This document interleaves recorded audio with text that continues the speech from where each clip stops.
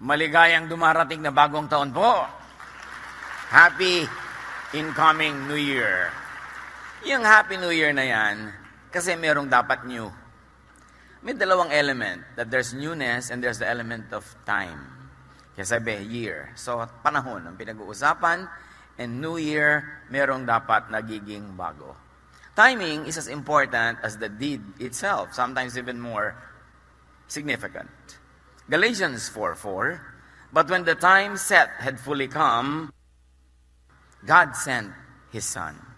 Even the sending of the son had to be timed correctly, properly, perfectly. Para sumaya, ang dapat natin ma-observe, isa sa mga madalas ma-neglect, tamang panahon. Dapat tama ang timing. Hindi lang tama ang ginagawa, tama ang timing. Tama ang pag-iisip. At tayo'y sumasakay, hindi sumasalungat sa pagdaloy ng panahon. Panginoon, salamat. Salamat po dahil merong time na maaari naming maunawa paglipas at pagdaloy ng panahon na merong kanyang sariling energy, sariling kapangyarihan na dapat ay matutunan naming sakyan at hindi salungatin. Be our speaker, our teacher, prepare our hearts for what we like to be a happy or happier new year, new chapter, new time, new mindset. Speak to us, Father. Be our speaker. Lead us unto greater godliness. In the name of Jesus, we pray with thanksgiving.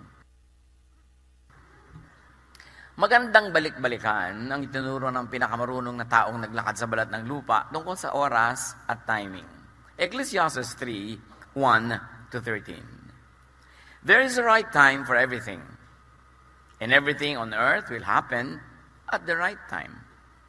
There's a time to be born and to die, to plant and to pull up plants, to kill and to heal, to destroy and to build, to, to cry and to laugh, to be sad and to dance with joy. There is time to throw weapons down and to pick them up, to hug someone and to stop holding so tightly to look for something and to consider it lost, to keep things and to throw things away, to tear cloth and to sew it, to be silent and to speak, to love and to hate, for war and peace. Nakita natin yung mga ideya na sinasabi ng Solomon are extremes. Magkakabaligtad. Sobrang magkakaiba. Pero kahit extremes, basta tama ang timing, ay tama.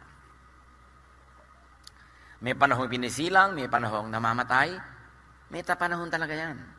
Pag pinasalungat-salungat natin yan, ayaw nating isilang yung dapat isilang at ayaw nating mamatay yung dapat nang mamatay, lulungkot tayo. Gugulo ang ating pag-iisip. Maliligalig tayo. May mga extremes na sa biglang tingin masama, pero pag tama ang timing, hindi siya masama. But unless, of course, clearly auspicious, try to avoid extremes do extremes only when they are very, very clearly the righteous thing and the righteous direction to take. Ecclesiastes 7:18 Whoever fears God will avoid all extremes. Really? Timing is it. And timing it is. At kung isa-isahin natin yung sinabi ng maraming extremes na yan, ano ang mapapala ng tao sa kanyang pinagpaguran? Sabi sa Ecclesiastes 3. Alam ko na ang itinakda ng Diyos sa, eh, ng sa tao. Alam ko na ang itinakda ng Diyos sa tao, iniangkop niya ang lahat ng bagay sa tamang kapanahunan. So lahat ng gusto mangyari para sa atin ng Panginoon, may kakambal na tamang oras. Godliness, therefore, is timeliness. I remember a vivid lesson in high school grammar yung on time at in time. Pag sinabing she came on time, kung anong pinag-usapan na dapat oras, yun ang dating niya. Pero pag sinabi mong she came in time for the refreshments, ibig sabihin, tamang-tama para sa isang bagay, kahit hindi yun ang pinag-usapan. So, yung uh, perfect natin yung timing, kailan on time at kailan tayo in time. Mag-isip, manuri, makiramdam, kung tama sa panahon. Meron kang gustong sabihin sa asawa mo, Tama ba sa panahon? Yes, tama ang gusto mo sabihin, pero tama ba sa panahon? Meron kang gustong simulang negosyo, meron kang gustong tapusin na isang project, meron kang gustong simulan na relasyon, tama ba sa panahon? Paano nalalaman kung tama sa panahon? Dahil Diyos pa lang nagbibigay ng tamang panahon. Therefore, dapat natin nalalaman kung tama. Pag tama ang timing, magaan. Natural, hindi pilit. Pagkapagod na pagod ka to engineer things, to manipulate, to make things happen, hindi yan timing ng Diyos. Pilit mo yan. At kadalasan, pag pinipilit natin, mapakla, mapait, ang bunga. Dapat matuto tayo makiramdam because we are spiritual people at lahat ng bagay ay merong spiritual dimension. Lahat ng nangyayari sa physical reality ay merong kakambal sa spiritual world. Therefore, dapat tugma. Magaan sa kalooban at likas na dumadaloy, hindi pinipilit. Sa pagpapatuloy ng Ecclesiastes 3, ang tao'y binigyan niya ng pagnanasang alamin ng bukas Ngunit hindi binigyan ng pagkaunawa sa ginagawa ng Diyos mula sa pasimula hanggang sa wakas. We have this God-given curiosity to know and to want to know what might be and what could be, pero hindi naman ipinaalam sa atin ng Diyos ang mga sagot. So ano lang ibig sabihin nun? Huwag magpagod na alamin ang marami. Huwag magpagod na alamin ang lahat. Sabi nga ni Solomon, with more knowledge comes more sorrow. May mga bagay na mas mabuti pang hindi mo alamin o kaya hindi mo alamin ngayon. At may mga bagay na dapat mo alamin ngayon kasi pag hindi mo inalam ngayon, will be disadvantageous to you. So even learning, the application of knowledge, yung pagbubukas ng isip, may timing. Huwag magpagod sa hindi dapat isipin muna. Alam kong walang pinakamabuti sa pagpapatuloy ni Solomon. Walang pinakamabuti sa tao kundi magpakaligaya at gawin ang pinakamabuti habang siya'y nabubuhay. So meron naman palang pwede mong gawin anytime, any moment, every time, every moment, maghanap ka ng kaligayahan. Ibig sabihin, anuman ang sitwasyon, hanapan mo ng ikaliligaya. Kung hahanap ka ng kaligayahan, doon lang sa totoong at face value ay maligaya, Konti lang yun. So hanapan mo, pigaan mo ng kaligayahan ang anumang pagkakataon. In other words, as we always say, how do you go about life? Maximize pleasure. Lahat ng pwede mong idagdag na kulay, sa kulay, lahat ng pwede mong idagdag na lasa, o bawasin para merong lasang tumingkad, how do you maximize pleasure? Paano mo dadagdagan ng musika ang ingay?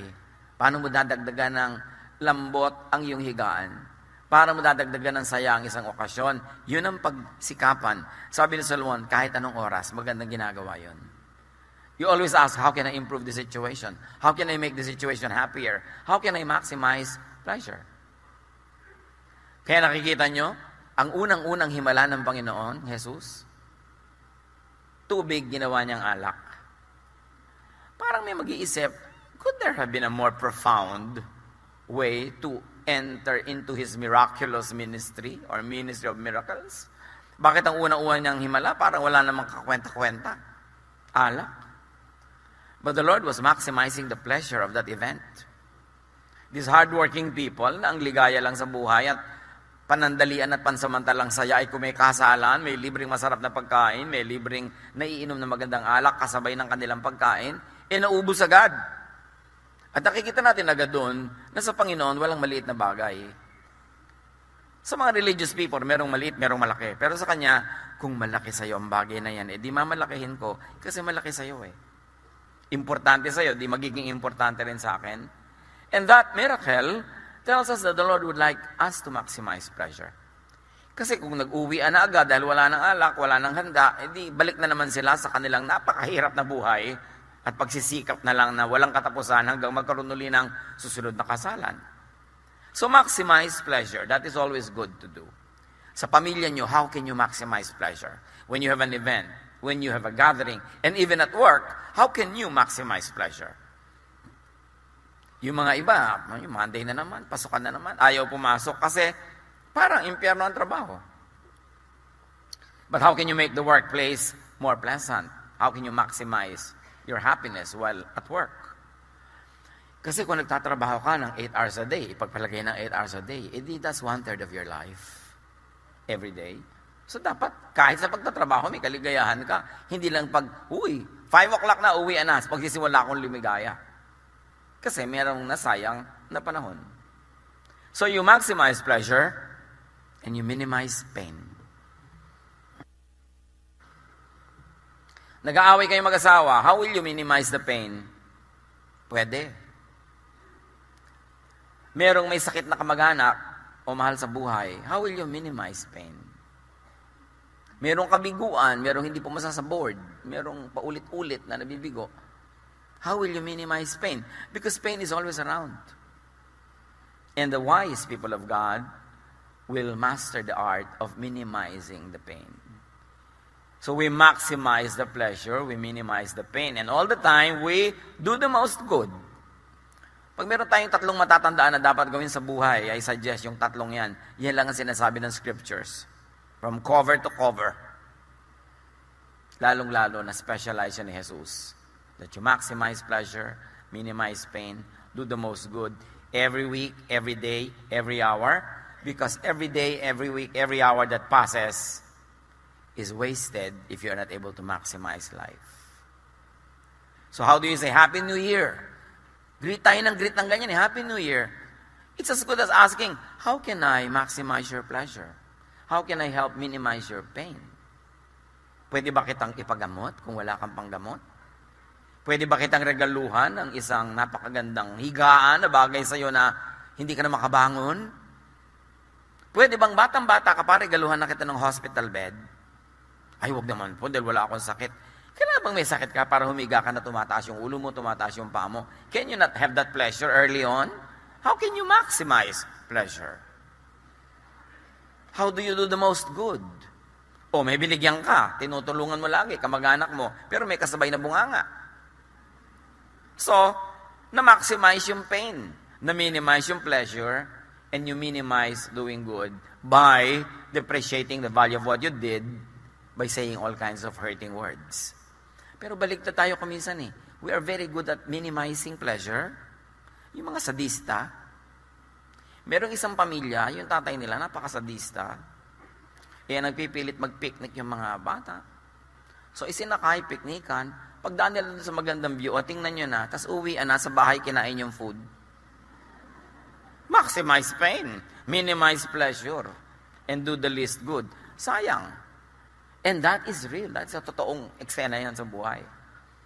And that is many variants in our daily lives. How do we maximize pain?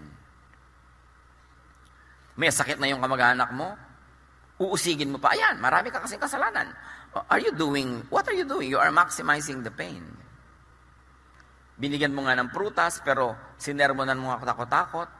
You are minimizing the pleasure. Kailangan magising tayo sa mga kasinungalingan na ito ng buhay na actually reality ng marami kasi hindi lang nag-iisip. Dadalaw ka sa isang tao, ang laki-laki ng effort mo magpunta doon. Ang ending, nag-away kayo. Di ba sayang yung time? Nag-invest ka ng time, tapos ang ending, nag-away pala kayo.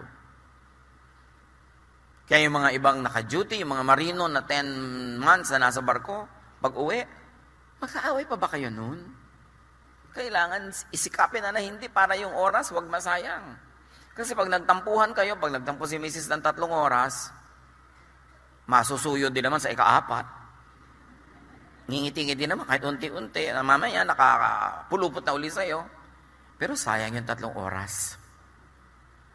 Bawat tiktak ng orasan, papalapit tayo ng papalapit sa kamatayan. Yun ang totoo. So huwag tayong magsayang na sandali. Alam ko rin kaloob ng Diyos nang ang tao'y kumain, uminom, at pakinabangan ng bunga ng kanyang pinagpaguran. So these are all in time and those all on time. Meron kang dapat ginagawa in time. Halimbawa, Hindi mo pabalak na magtanim, pero biglang nag-uulan ng ilang araw. Wow, maganda magtanim. This is doing it in time. Pero meron talagang panahon na magtatanim ka na on time. Kasi pag hindi mo kasabay nagtanim yung mga ibang farmers, later on, nag-harvest na sila, ikaw hindi pa, lahat ng daga lilipat sa'yo. Kasi ikaw na lang yung may fruit. So, may on time, may in time talaga. Marunong ka makiramdam na iniiba mo yung nakaset mong schedule na in time, na on time, kasi merong dapat gawin in time okay, parang on time na on time na, napagalitan mo ang iyong anak dahil hindi siya pumapasa sa maraming bagay, pero biglang ang okasyon ay iba ang takbo. Parang panahon nito para tayo magsaya, so you do it now in time. Kung ano ang hinihingi ng okasyon, whatever will yield the best results for you, marunong ka dapat mag-adjust.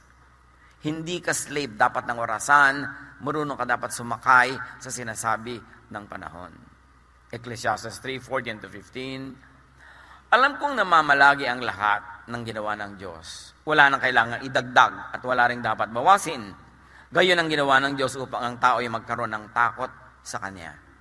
So kahit ano palang pagsisikap natin, wala naman tayong maidadagdag at maibabawas. That is in the general scheme of things. But we can of course influence the specifics that are very close to our daily existence. So flow na lang. Do not over-manipulate time and life. Merong normal na takbo yan. Makidaloy sa agos. Kung time na malungkot ang mood, at dapat talagang maging malungkot, may gain din yan. Meron din yan na benefit. Huwag mong pilitin na ibahin kung yun ang dinadala ng panahon. Lahat ng nangyayari ngayon ay nangyari na noong una, Gayon din ang magaganap pa. Paulit-ulit lamang ang mga pangyayari. Kahit climate change. Ang laki-laking issue yung mga tao ngayon yung climate change. Totoo, meron tayong pwedeng gawin to mitigate the negative effects. Meron tayong pwedeng gawin para ma-maximize yung pleasure, ma-minimize yung pain, and to do the most good about it. Pero kung may climate change, edi may climate change. Sabi ng Ecclesiastes, ang nangyari ngayon, nangyari na noon at mangyayari pa uli. Paulit-ulit lang. Except that we were not here when the major other climate change happened. Except na hindi ganito karami ang tao noon, o baka ang dami din nag-climate change na bawasan. Ang mahalaga, mga kapatid, adjust. Lagi nang po problema yung mga iba about this climate change at nawawala yung kaligayahan nila, puro fear ang nangyayari. Adjust. Sabi, Pastor, bakit po ngayon December umuulan? Eh di umulan, magpayong ka. Ano po pinaproblema? Mapipigil mo ba yan? Paano po yan? Yung summer, hindi na summer. Eh di ilipat natin yung summer. Kung tag-ulan na ngayon pag summer, di dapat ilipat natin yung mga kalendaryo natin kung kailan hindi tag-ulan, doon ka mag-schedule ng kasal. Doon ka mag-schedule ng mga gathering, adjust lang tayo. Why problematize it? Solomon said, what has been will be, is coming and is going on and it will keep going on. Because there's nothing you can add or subtract from creation. Hindi end of the world dahil lang lumipat ang ulan. Hindi end of the world dahil lang uminit o lumamig. Kailangan lang tayo marunong mag-adjust. At yung ginagawa natin na abusive ways, bawasan o tanggalin para makatulong tayo na mabawasan yung hirap to minimize the pain. In other words, marami, marami tayong ginagawa meaningless. To worry, to over-worry, to manipulate what we cannot manipulate. No matter what people do, nothing is added to nor subtracted from creation. In fact, since creation, up to now, not one drop of water is lost or gained. Recycle lang ng recycle. Marunong ka lang dapat sumayaw sa panahon. So manage creation well. Let's do our best. Then let creation be. Kung iinit, iinit. Maglulubugan daw po ang mga maraming city sa 2050. Eh di maglipat-lipat ka na ngayon pa lang. Kung mangyayari, ano, pipigilin mo ang dagat. Kaya mo bang pigilin ang pagtaas ng dagat? Matutunaw daw po ang mga yelo. Eh tubig din naman talaga dati yan, naging yelo lang. So siguradong nung naging yelo yan, napakaraming lupang dating lubog na lumitaw. Ngayon matutunaw, eh di lulubog uli. Hindi lang nga nangyayari in one lifetime, kaya parang bagong-bago sa atin yan. Pero It has been happening. A lot of studies. In fact, there are very intriguing studies now that even in Antarctica, because the ice is melting and the ice is diminishing by the minute. Marami na ngayon nakikita ang mga satellites na parang evidences of architecture and civilization buried in the ice. Na dating hindi natin alam nung ang dami-daming yelo. So meron pala tayo mga makikita at malalaman pang yung mga yelong yung natunaw. Mag-adjust lang tayo. Tulad ng mga National Museum natin, National Library, National Archives, dapat dalhin niya sa Marikina o sa Antipolo para pag lumubog ang mga coastal cities, safe ang ating national patrimony. That is the thing we can do. Hindi yung mag-worry na mag-worry. Marami pa namang highland, marami pang matataas na lugar. Agahan na ang pag adjust kung kailangan. Ang dami-dami nagwo-worry, mayroon po palang fault line dito. Dati na yan. Paano po yan yung bahay namin nasa fault line? Anong dapat mong gawin? E di lumipat ka, ang hirap naman po. Eh di lumubog ka pagka kinain ka ng lupa. Ayaw mo palang mahirapan. Kailangan mag-adjust ka lang. There are things you cannot change. Katulad ng asawa nyo, mababago nyo pa ba yan? Baka mas madaling ilipat ang fault line. Kesa sa baguhin mo pa. Eh, tanggapin mo na lang. Maximize your pleasure. Kesa minamaximize mo ang iyong worry, naiinis ka, huwag ka na lang mainis. Kailangan gumawa ka ng paraan para kayo sumaya. Tulad ng, alam nyo po, overtime, palakas ang palakas ang hilik niya. Alam nyo ba, maraming asawa nagdurusa dahil sa hilik. Ayaw lang aminin. Pag pinatayo natin ngayon, baka ang daming tatayo. Pero ayaw aminin kasi iniisip nila, napaka-unfaithful nila. Well, kung talagang worry nyo yan, either maglagay kayo ng mga takip sa tenga, o gumawa kayo ng dalawang magkahiwalay na higaan. Paano naman po kami? Eh, di may isa kayong common higaan na pag gusto nyo nandun kayo. Pero kung gusto mong matulog, nandun ka sa kabila, it doesn't mean ayaw mo sa kanya, ayaw mo lang na ang tulog mo ay magkaputol-putol. Masama bang gawin yun? One of the best bedrooms I have seen, isang, uh, somebody I fondly called tita. Ang bedroom nila mag-asawa, merong magandang bedroom sa gitna, bed, nice, nice, nice. Pero sa kabila nun, left and right side, may tigisa silang bedroom. At may tigisa silang banyo sa dalawang dulo. So hindi, dalian mo naman, dalian mo. Nag, alam, kano pag-aaway ng mag-asawa sa pagmamadali dahil nakaupo ka sa trono, gusto na rin niya maupo, o ang tagal-tagal mo sa shower, o nag-iisa ka sa lababo, napakahirap pa talaga gumawa ng dalawang maliit kwarto para matigil ang awayan na yan. Ngayon, pag gusto nilang magkasiping sila, nandun sila sa gitna. Pag dumating yung misa sa gabi na nandun sa gitnang kama yung asawa niya, kasi, oh, ay, gusto niya ako katabi, pero ako ayoko, dito ako matutulog. Walang personalan, eh, sa ayaw niya eh. Di ba? Gusto niya mahiga, matulog. Pero pagka tumabiri siya doon, edi ibig sabihin, pareho nila gusto. Ngayon, pag nandun sa kabila yung isa, edi gusto lang niyang matulog. Walang masamang ibig sabihin yon. So pag nakadevelop kayo ng ganito, eh, paano po yan, maliit ang bahay namin, isolvin mo na lang.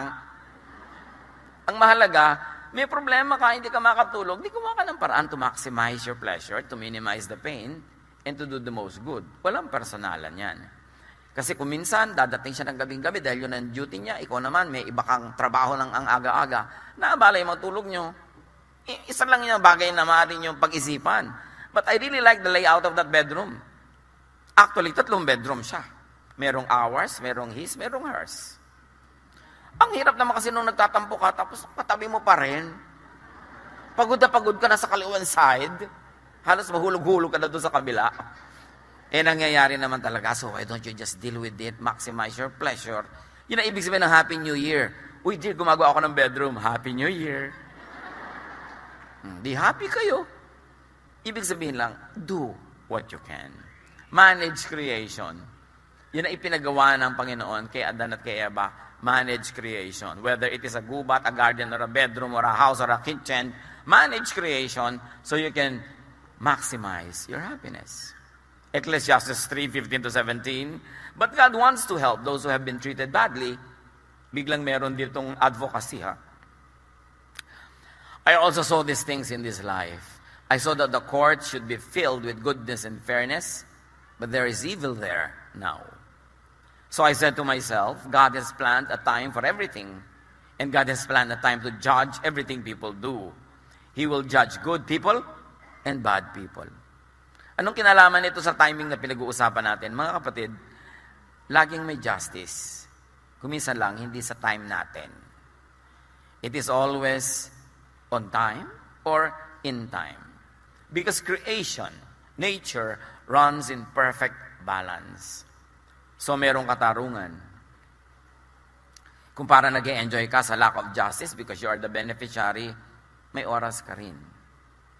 At kung ikaw naman yung parang na-happy because of lack of justice, may oras ka rin ng vindication from the Lord. Wait upon the Lord. Because even the administration of justice has its own time. Ang tao, up to a point, can manipulate. They can withhold justice or they can speed it up, but only up to a point. Because in the general scheme of things, it is the timing of the Lord that will take effect. Take comfort in the fact that God knows your predicament that God is at work. See God at work. See that the many other ways that God works. Hindi lang naman yung halimbawa na api ka, kailangan yung court ang magbigay sa iyo ng uh, hustisya eh. Ang daming paraan ng Panginoon ng pagbibigay sa ng katarungan, hindi lahit, hindi laging through the justice system of governments. So makikita mong parang naapi ako doon sa court case ko, pero Panalo naman ako kay Lord. Ang dami-dami mga ibang cases na binibigay niya sa akin. Dapat tingnan mo yung malawak. Hindi lang sa isang bagay. Because God is at work in many fronts. Maraming paraan, maraming kulay ang paggawa ng Panginoon. So, Solomon is emphasizing that whether or not you see justice at work, you do your thing, promote justice. It is something that is good to do all the time. Create a climate of justice. Mahirap para sa isang hukom na maging very just kung ang buong sistema, ang buong climate ay very unjust. So dapat tayo tumutulong, gumagawa, lumilikha, nagko-contribute to create a climate of justice, a just society, a just civilization. At pag hindi natin ginawa yung dapat natin gawin dyan, hindi tayo nag-contribute, lahat din tayo aanin ng bunga na yan. Tulad ng nangyayari sa atin ngayon. A lot of injustices are happening, but you don't have one particular person to blame yun lamang hinahayaan mo na merong injustice, kahit hindi ikaw ang gumawa ng wrong, participant ka sa pag-create ng climate of injustice. Yung nakapila ka kuminsan na ganyan, meron pang uuna sa'yo, ang ganda-ganda ng damit, ang laki-laki ng hikaw, tapos walang urbanidad ng uuna. Papayagan mo ba o i-correct mo? What kind of climate will you create? Kasi may mga batang nanonood, may mga kasamang iba. So anong gagawin mo doon? Kailan ka dapat manindigan? Lahat tayo may pananagutan kung bakit ganito ang nangyayari sa ating paligid. Again, how do you minimize pain? How do you maximize pleasure and do the most good? Because there's a lot of happinesses in our lives that have to come from the whole surroundings. Hindi lang pa, ikaw ang gagawa nun, bunga dapat yon ng ating pakikipagtalastasan, ng ating pakikipagtulungan sa isa't isa. So, gusto mong tumigil ang mga baha sa inyong neighborhood, dapat lahat tumigil magkalat doon sa mga kanal at maghulog ng mga basura doon. Dapat lahat maging disiplinado. Kasi kung ikaw lang disiplinado, magbabaha pa rin doon. Meron tayong corporate responsibility, communal responsibility. At sa pamilya, how do you create a climate of happiness? Sa pamilya pa lang, how do you create a climate of justice? Do you reward the good and punish the bad? How can we be happy pagka hindi ganun ang ating paraan? So, liban nilang magbago tayo ng pananaw, liban nilang improve natin ang ating paraan ng pag-iisip, empty phrase lang yung Happy New Year. Empty greeting. Because for us to be happy, there should be something new. New time, which means a new opportunity, but also means a new kind of mentality. I have experienced a therapist na nag-aayos ng mga bone disalignment na hindi ka lang nakahiga pagka tinitreat ka niya. Tumatayo ka, lakad ka ng lakad, tapos tinitingnan niya yung galaw mo at may mga time na bigla niya itutulak yung hips mo. Sa gitna ng paglalakad mo, may timing ang kanyang treatment ng bone. Yung nakalawit yung tuhod mo, kukuya-kuya-kuya ka na ganun, tapos binabantayan niya, may timing na bigla niya, ito twist. So, hindi lang basta-basta ginagawa niya yon may tamang time. Kasi may mga time na nakabuka yung joints mo, may nakasara, so pag may ikinokore ka nang nakasara yon edi magkakabali-bali lang yung buto mo. At marami tayong ginagawang gano'n sa buhay, mga kapatid. Tama yung ginagawa, pero wrong timing. So, makiramdam. Wala kasing formula para malaman kung kailan yung right time. Ecclesiastes 3.22 Kaya naisip kong walang pinakamabuti, kundi pakinabangan ng kanyang pinagpaguran. Ito ang ating bahagi. Mainam yan ulit-ulitin kasi mayroong malalim na kahulugan. Earn your pleasure. Plant to harvest. What are you planting in your company? What are you planting in your family? What, what are you planting in the community? Because that is what you will harvest. And very importantly, Solomon is always saying, do what you enjoy. And enjoy what you do. Gaano karami sa ginagawa niyo mga kapatid ang hindi naman enjoyable? Okay, ang gandang business opportunity. Pero alam mo, hindi mo gusto yung karakter nito magiging makasosyo mo. Tutuloy ka pa ba for the prospect of profit? Pero pagtsatsagaan mo ito mga taong ito, why do something that is not pleasurable? Lalong-lalo kung hindi na naman maiiba ang kinakain mo, yun na rin yun. May pera ka na rin. Wala nang malaking pagbabago sa buhay mo whether or not you did this business. Why will you do it if there's a lot of pain? If your pain will be maximized and your pleasure minimized. So, nag-iisip-isip tayo, ano bang mahalaga sa akin? Kumita ng magdagdagan ng kita ko o madagdagan ng kapayapaan ko, ang aking katahimikan.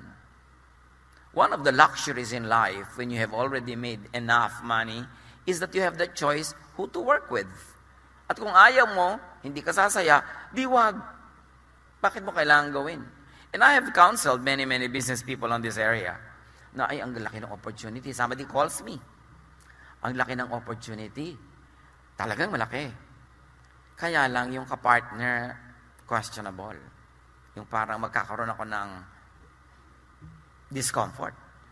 Sabi ko, well, kahit naman gawin yung business mo yan or not, ang kakainin mo pa rin three times a day, ganito karami. Ang kailangan mo pa rin, one car at a time. Hindi mo rin naman dadagdagan ang kakainin mong steak.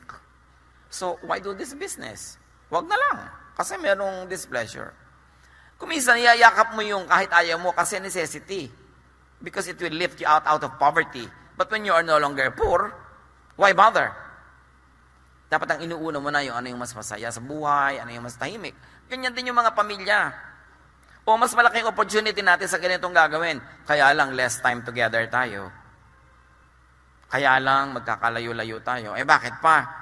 Maglayo-layo na lang tayo kung talagang kailangan-kailangan lang natin dahil wala tayong makain.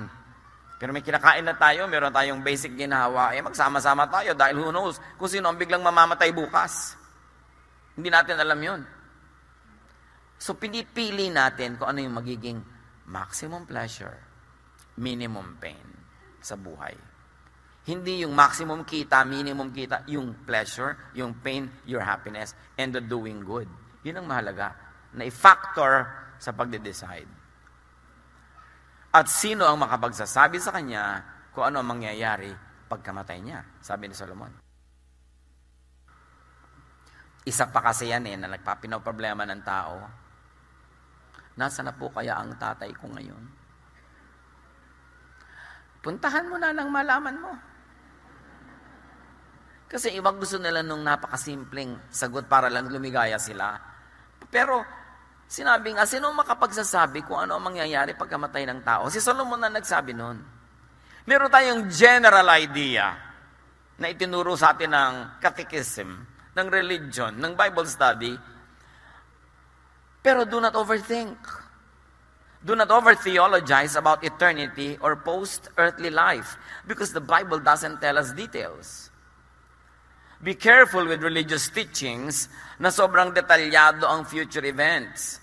They are usually based on some vague verses at bumuo sila ang kanilang guni-guni ng fully scripted eternal life. You don't need to buy that. We don't know what holds the future, what the future holds, but we know who holds the future. And we know that the future is in God's hands. Hindi natin kailangang malaman bawat detalye kung ano mangyayari. Ano po kaya para sa ang kulay ng pakpak ko? Uy, tanong mo muna, magkakapakpak ka ba? Kailangan mo talagang lumipad sa eternity. Ano po kaya? Paano yung mga kaaway ko noon? Katulad ng tanong kay Jesus, paano yung pito ang naging asawa sa lupa? Sinong asawa sa langit? Sabi ni Jesus, eh, para mga anghel na sa kabila, wala nang ganyan-ganyanan.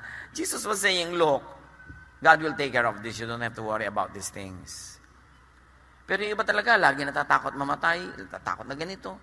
paano po yung stepmother ko? Kasama ko rin sa langit. Yung, yung nakaaway ko, kasama ko rin ba yan? Isa yan na nagtatanggal ng happiness natin eh. Nababawasan yung excitement to be with the Lord in an eternal spiritual context. Because we over-worry. Tapos yung, parang gusto-gusto mo talaga may mga magpunta sa impyerno. Ibig niyo po sabihin, yung mga kapitbahay ko, hindi rin sila pupunta sa impyerno dahil na born again din. So gusto mo ikaw lang. Yung mga bagay na hindi dapat pinag-iisipan. Kasi kahit anong pag-iisip ang gawin mo, sayang lang, hindi mo rin masosolve. Ecclesiastes 4.4, nakita ko rin ang tao ay nagpapagod upang mahigitan ang kanyang kapwa. Ngunit ito man ay walang kabuluhan, tulad lang ng paghahabol sa hangin. How much do you do? Do you do because you're only trying to compete with someone? May nagsabi, bakit po may mga pamilyang ang yayaman na nila? Pagkayaman-yaman na, wala pang tigil ng pagpapayaman.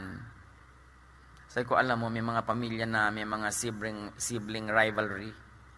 So yung magkakapatid na yan, kahit bilyones, trilyones ang pera, may personal silang paligsahan, kaya ayaw nilang tumigil. Hindi lang dahil gustong-gusto nilang kumita, kasi may mga kalaban sila. Meron silang audience, meron silang pinaghihigantihan na dating umapi sa kanila, ng small sa kanila noong araw. So gusto lang ngayon madaig ng madaig ng madaig. Pero sabi ni Solomon, sayang ang pagod kung ginagawa mo lang yan para daigin ang kapwa useless. What is useless and waste of time? Competitive hard work, competitive acquisition, just to outdo your neighbor. Yung pagod na pagod ka ng paliitin ng bewang mo dahil lang mas maliit ang bewang ng kapitbahay mo. Diba? May ganun eh. Gustong gusto mo na yung anak mo, napakataas ng grade, hindi para siya matuto, kundi para madaig niya yung kapitbahay nyo, para mas proud ka dun sa nanay niya kaysa madaig mo sila. Gaano karami sa ginagawa natin mga kapatid dahil lang may kakompetensya tayo. And most of the time, our competitor doesn't even know we exist. Sa kanya lang tayo fixated, hindi naman siya fixated sa atin. Sayang ang panahon. Merong positive na pagsisikap. Iba naman yung hard work to create or to recreate. You want to outdo your previous performance. You want to do it better then that is good. Pero kung ginagawa mo lang para kami madaig na iba, it is useless because there will always be a greater and a lesser person than you, no matter what you do. Colossians 3.23, whatever you do, work at it with all your heart as working for the Lord, not for human masters. That is when you are not being competitive with other people. But you only really want to excel, you want to do what is good. Iba yung having much, in order to give away. Meron naman payaman ng payaman para marami siya ipamigay. Merong, bakit pagod ka pa ng pagod? Meron ka na, mga kapatid ko kasi, mahihirap eh, kailangan tulungan ko. Well, that is a good thing to do. Hindi to compete, but to be able to be a good and a better giver. Ephesians 4.28, Ang magnanakaw ay huwag nang magnakaw. Sa halip, maghanap siya ng marangal na ikabubuhay para makatulong sa mga nangangailangan yun, worthwhile yun. To do more, to achieve more, to get more, so you could be more helpful. So, alin doon ang mga motivation natin? Kumisan magtataka ka, pupunta ka sa mga probinsya, ang lalayong mga bukid, biglang ang lalaki ng bahay. Makita mo may gumagawa doon. Gaano kalaki doon ang competition na magkakapit bahay? Anak, yung kapitbahay natin, nagpapagawa na ng bahay Dakilaki mo ang padala mo. At magpapagawa na rin tayo. Di ba? Gaano karaming hiling ng mga nanay sa mga OFW nila anak? Palakihan ng bahay. Ah, korting vapor ang bahay mo, ha? Nakakita na kayo ng mga ganun mo, korting vapor. Yung iba, korting aeroplano naman nagagawin nila mga bahay. Yung isa naman, bungalow, ang laki ng hagdan kahit walang pupuntahan. Competition. And usually sa probinsya mo, makikita to. Kailangan nyo ba talaga ng ganong kalaking bahay? Meron pa ako nakausap at nalaki ng bahay nyo. Alam niyo po, kasi dati minamaliit kami ng neighbor namin eh. Asa naghihiganti lang kayo? Sa pagkalaki-laking bahay nyo, nagkautang-utang kayo, naghihiganti lang pala kayo. Habang naghihiganti ka sa isang tao, ibig sabihin alipin ka pa niya, kasi yung ginagawa mo, may kinalaman sa kanya. Hindi mo ginagawa para sa'yo dahil sa'yo, kundi dahil sa kanya. So, hindi ka pa malaya. The best revenge is not to take revenge. Dahil habang nagre-revenge ka pa, siya pa ang reference point mo. Alipin ka pa niya. Naaapi ka pa niya, napapahirapan ka pa niya nang hindi niya alam. So set yourself free. A free mindset to do the most good because that is what you want to do. And not to maximize your pain para ka makaganti. Nakakaganti ka nga, but you're maximizing your pain? What's that? Kailangan you minimize pain. Ecclesiastes 4, 5 to 6. Sinasabi nila, nilang mangmang lamang ang naghahalukip-kip ng kamay at nagpapakamatay sa gutom. Ngunit mas mabuti pa ang isang dakot na may katahimikan kaysa dalawang dakot ng pagpapagod at paghahabol sa hangin. A handful where there is peace is better than two handfuls where there's a lot of sorrow and a lot of troubles and a lot of stress. Dapat alam natin when to stop mas mahalaga yung tahimik. Sabi nga, better a meal of vegetables than a meal of meat with a lot of strife. Mas simple, pero tahimik, yun ang mabuti. But I say it is better to be satisfied with the few things you have than to always be struggling to get more. Yang more na yan, hindi natin titigil.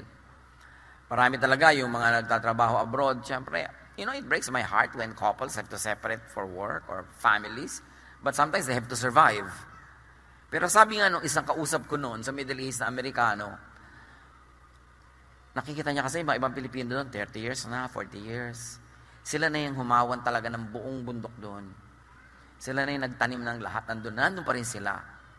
Sabi nung Amerikano sa akin, correct me if I'm wrong, sabi niya sa akin, among you Filipinos, The first three or five years here in the Middle East is necessity. Sabi niya. And beyond that is luxury. Sabi niya, and after 10 years, greed. Sabi ko, well, maybe there's some truth in it, but not entirely. Pero meron din. Kasi yung iba, talagang umalis ka lang para makabayad tayo ng utang. Nung nabayaran na, ay, kailangan nga pala nating bumili ng lupa. At nung nagkalupa, ay, kailangan nga pala natin lagyan ng bahay. At syempre, nung nagkabahay, dahil malayo yun, ay, kailangan pala natin ng kotse. At pagkatas, ay, kailangan na pala nating magpaaral. Hindi na ngayon makauwi si OFW hanggang hindi bangkay. Masakit, pero totoo. When do you stop? Hanggang kailan yung kailangan? Hindi ba ang kailangan ng pamilya magkakasama? Hindi ko minamaliit at minamasama yung paghisikap ng mga tao at nagtitiis magkakahiwalay. Kaya lang, dapat ninyong lagyan talaga ng hanggang saan ito. Kasi hindi naman nauubos ang needs, palaki ng palaki. Ay, magkukuleyo na ang mga bata. O, tatagal ka na naman. Ay, nag-asawa ang anak natin. Ay, gatas ng apo. Ay, lumalaki na ang apo, nag-drugs. Ay, drugs ng apo. I have seen it all, mga kapatid. Napakarami kong inilibing na meron akong hinanakit sa paglilibing kasi inisip ko, hindi pa to dapat namatay eh, kung hindi lang sobrang pressure. Hindi pa to dapat nagkaganito eh. Dapat sana nakapagpahinga to, dapat sana nakauwi ito, pero hindi eh. Sumusuka na ng dugo, nagtatrabaho pa eh. Kasi ang dami-daming kailangan na hindi na matapos-tapos. So, hanggang kailan yan? How do you maximize pleasure? How do you minimize pain? How do you do the maximum good? kailangan yun mabalanse. At ang lagi ko sinasabi sa mga pamilya ng mga FWs, try to find an income. Huwag kayong umasa sa isa lang. Dapat meron kayong kanya-kanyang income para makakauwi na siya. At kung hindi man may income, dahil hindi kaya, hindi pwede, tumulong kayo sa pagbawas ng gastos. Kasi hindi na matatapos. Ito po siya ang aming breadwinner. Oo nga, ano na kay lahat, bread eater. Ganon, may isa kang breadwinner, lahat kayo nakasandal. Paano yun matatapos? Kailangan magtulong-tulong because you have to minimize pain. And you have to maximize pleasure. Which means you do it by doing the maximum good. By saving correctly, by spending correctly, and by earning more para makatulong. Galatians 4.4 But when the set time had fully come, God sent His Son So kahit ang dating ng anak may takdang panahon. May takdang panahon ng pag-alis, may takdang panahon ng pag-uwi. May takdang panahon ng paggastos, may takdang panahon ng pagtitipid. May takdang panahon ng pagkita ng pera. Hindi ang tanda-tanda mo na dependent ka pa. Wala ka na sa panahon. Expired na. Kumbaga, yung aasa ka, tagal-tagal na. Dapat may panahon para ang lahat makalaya at marong magkaroon ng kasiyahan sa buhay. Ilagay sa tamang oras ang lahat. Wala kayong pera ngayong Pasko. Eh di walang handa. Kailangan ba talaga meron? Marami kayong mga bukid na nasira, hindi kumita ang inyong negosyo. Kailangan ba talaga mag Santa Claus ka, nakapaskuhan, eh wala kayong pera ngayon? Nakasanayan na na maraming namamasko sa akin. Paano ngayon wala akong pera? Di hayaan mo sila magdatingan, eh di wala po akong iaabot. Eh di wala. Ano pong mangyayari? Next year, hindi ka na nila babalikan. Ayaw mo yun. Pero pag laging may nababalikan, lagi kang pupuntahan.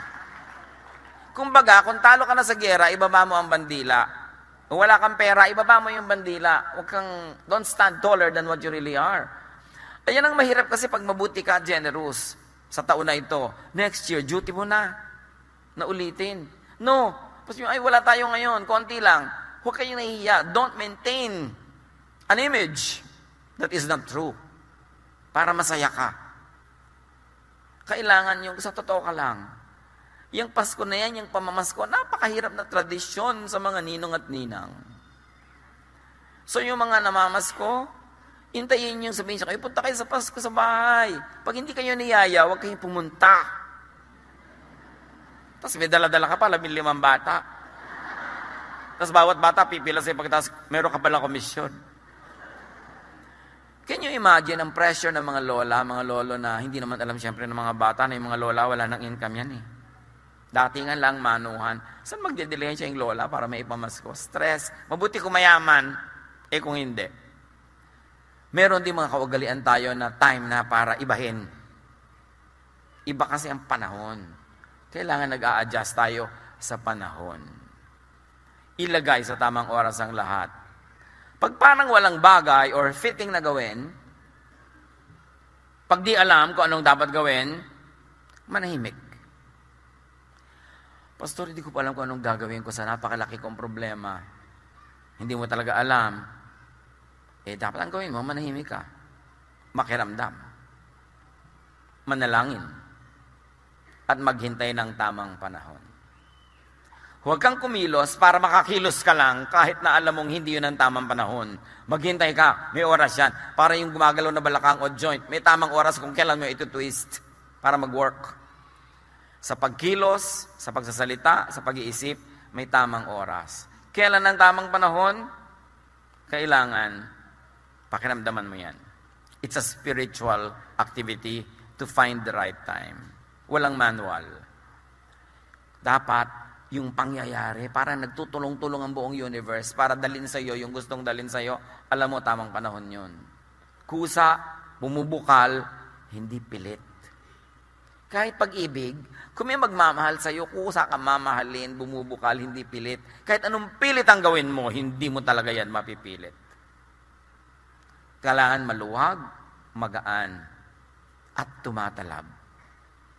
So, kailan ang tamang panahon? Spiritual activity yan, I cannot tell you.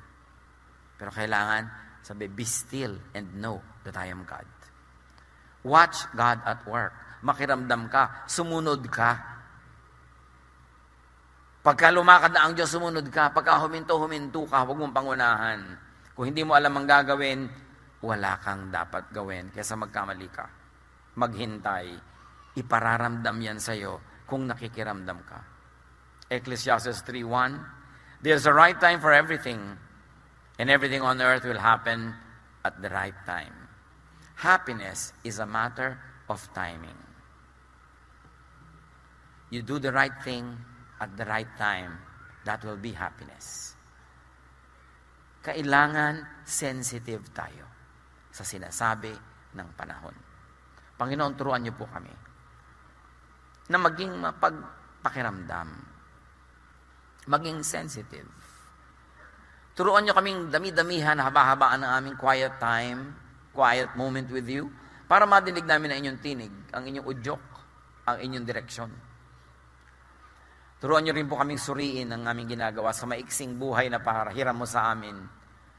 That we should be maximizing pleasure. But is that what we're doing? We should minimize pain. Pain namin at pain ng iba. And we should do the maximum good. Para sumulit ang pahiram na oras nyo sa amin. Na may takda na babawiin nyo rin. Nawa, Panginoon, maging sensitive kami para walang masayang na panahon maipagdiwang, maipagbunyi namin ang bawat sandali na buong kabaitan niyong ipinahihiram sa amin. Magbulay-bulay tayo sa mandali. Isipin ang pagsasayang natin ng oras sa mga bagay that brings pain instead of pleasure.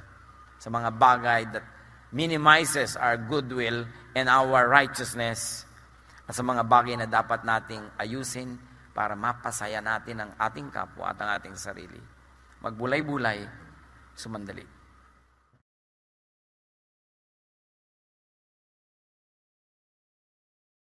Love to you, mga pamangkin. Dito tayo mag-aral ng salita ng Diyos. Dito tayo mag-aral ng mga praktikal na bagay. Magdalanginan para sa isa't isa. Makinig ng mga mensahe.